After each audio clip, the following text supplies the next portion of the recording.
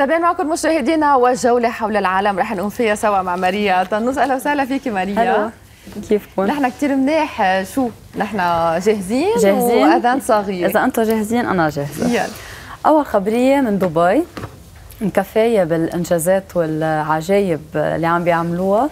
وهالخبرية عن أول مبنى مطبوع بتكنولوجي ال 3 دي بينبنى بدبي. هيدا يعني مش موجود بالعالم. حلو. واللي بيميزه إنه صالح للاستعمال. مم. يعني منه مجرد مجسم بس للعرض. نعم. إنما هو مكتب فعلي آه، مطبوع بتق... بتقنية ال 3 دي آه، نحن بنعرف إنه عادة فينا نطبع objects أو أشياء صغيرة بلاستيك آه، يعني already مبلشين فيها. أو أكسسوارز يمكن. صح. بس آه، ال printer اللي طبعت آه، هيدا المبنى ارتفاعها 6 امتار طولها 36 متر وعرضها 12 متر. يعني قد إيه ضخمة تطبعت هيدا المبنى كأنها عم تطبع حيلا. علبه صغيرة. معقول. هيدي التكنولوجيا مش جديد على دبي. أكيد لدبي هي دائما والمك... والمكتب مجهز بكافة يعني الأمن السلامة التكنولوجي كله موجود فيه حلو. وصالح للاستعمال بشكل شروط الأمانة موجودة كلها. موزو- مزبوط. آه، تم كمان اختباره ليتأكدوا من من سلامته. والهدف توفير آه، كلفة العمالة لبناء آه، مثلا هيك مباني. صحيح. وتم توفير حوالي 70% من كلفة عمالة بناء بناء هيك هيك مكتب. وأخذ بناؤه 17 يوم.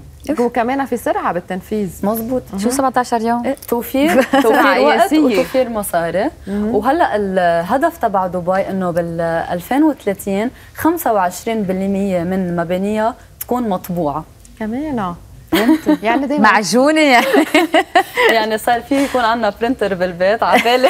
بس هون بدنا نذكر إنه déjà دبي سريعة جدا بالتطور أيوة،. والعمار آه، وهيدا سريع. يعني- هلأ بعد قد إيه بدها بدها تسرع وتيرة العمار بدبي؟ و targets كثير يعني فينا نعتبرها إنه قصيرة المدى إنه 2030 لا بس أنا عم يعني فكر في الحديد وال structures وهدول كله هيدا special يعني الظاهر، special إيه. من ال concrete تأكدوا الخلطة. إنه سليم وطبعوا هيدا. ما في شك. خبرية الثانية خبرية تانية من إسبانيا. ما بقى في داعي نسأل الشريك تبعنا بتحبني ما بتحبني. كله هيدا صار في كاميرا. نعم. هي thermographic يعني على الحرارة. بتقدر تفحص لنا هيدا الشيء وتأكد لنا إذا الشريك مزبوط بحبنا ولا لا. بحطوا إيديهم بمي مسقعة. والكاميرا بتكون عم تعمل scan لمطارح مثل الايدين الخدود الجبين وهن بيكونوا عم بيتفرجوا على صور. okay, okay. هلأ إذا عن جد بحبوا هيدا الشخص اللي بال- بالصورة مفروض تعلى درجة حرارة الإيدين درجتين. إذا ما عليت ما بيكون مش مش ما حب بحب. حقيقي. هلا المهم النتيجة من هالاختبار إنه نحط إيدينا بمي بيبان بس الأخطر إنه رح تصير على التليفونات يعني نقدر نحمل التليفون دغري نكشف الشخص إذا عم بيقول الحقيقة. فضيحة ما بقى في مجال للكذب ابدا.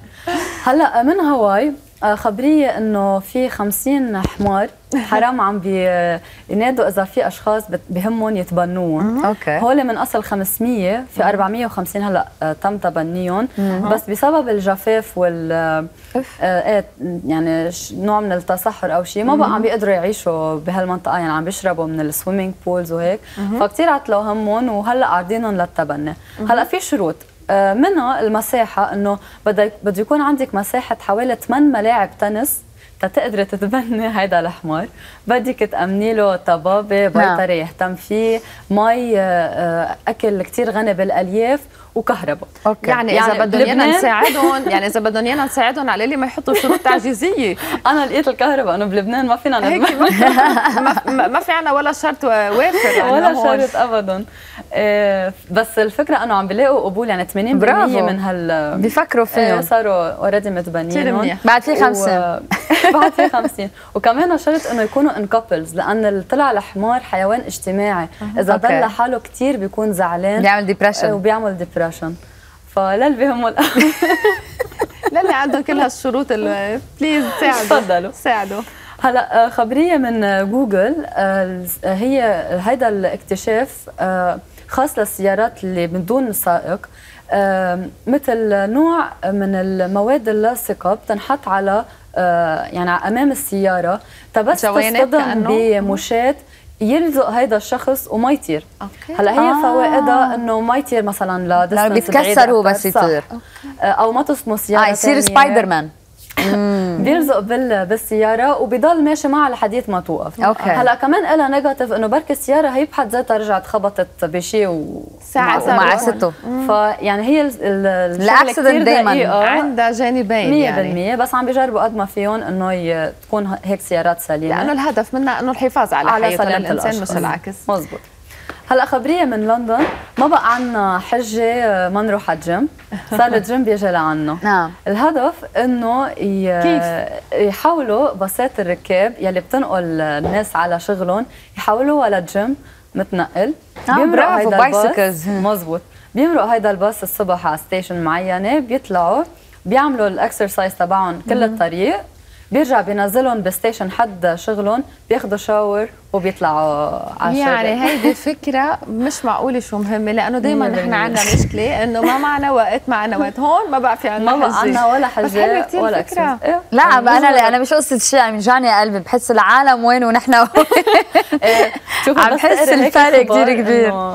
نحن ببالنا أشياء العالم نحن بس بدنا. نخلص من العجقة بس هي صح. بس قد إيه بتفيدهم بتحرق كثير بالعجقه ما هي عشان مثل البلد. كانت موجودة بلبنان كثير كثير بيمشي الحال. بعد عنا أخبار ماريا اخر خبرية نعم. عن آه، آه، شخص هلا آه، هو سنكري أوكي؟ كثير بيلاقي خواتم ضايعة. أكيد كثير مضايعين ما بعرف. آه أكيد نحن وصغار. كنا نفكيهم صح. فهيدا ال- الشخص آخر شيء صار هيرو وصار ملاقى كذا خاتم آه ويرجع يرجعهم لأصحابهم. لك برافو. هلا آخر خاتم لقاه لسيدة آه، ضيعته من ال 91 كانت فاقدة الأمل تماما أنها ترجع تلاقيه والخبرية المؤثرة هي أنه هذا الخاتم كان هدية من أمها اللي توفت بسرطان الثدي واو. هذا كان آخر شيء أعطيتها إياه قبل ما نعم. تموت وهي كانت كتير زعلانة أنه أنه فقدته. فبعد كل هالسنين. رجع لها إياه وأعطاها إياه وكان اللقاء كتير هذا حلو مؤثر. الوفاء عن جد حلو الوفاء وحاول الواحد يكون كمان أمين على. الاغراض لو ما كان أمين يمكن ما كان صح. رجع عيشها هال moments الحلوة اللي هي وثلاث عاشتها ارباع هالمساعده كمان عم بتكون على ال social media يعني عم بيعرض الخاتم وعم برافو. إنه مين صاحبه تيجوا برافو. ماريا أنا اتشكر كثير شكرا على الأخبار الحلوة بنرجع بنلتقى فيك الأسبوع الجاي بإذن أكيد. الله